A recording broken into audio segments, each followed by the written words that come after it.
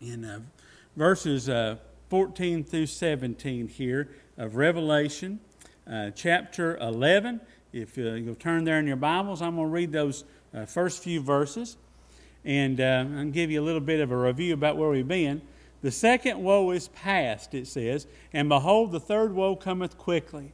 And the seventh angel sounded, and there were great voices in heaven saying, The kingdom of this world are become the kingdoms of our Lord and of his Christ, and he shall reign forever and ever.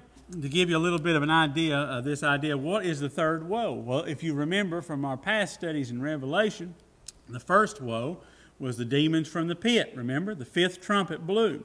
That was the first woe. Those demons come up out of the pit, and it was just a horror story. I mean, it really was a horror story. And then there was the second woe, and that was the sixth trumpet.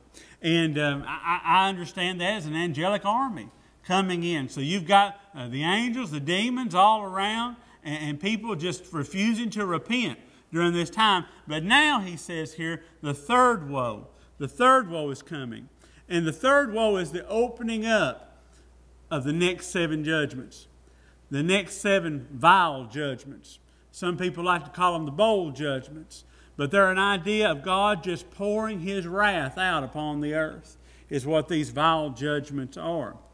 And uh, that is kind of the outline here that we're seeing that reaches all the way in to the end of the book and the end of this world as far as that goes.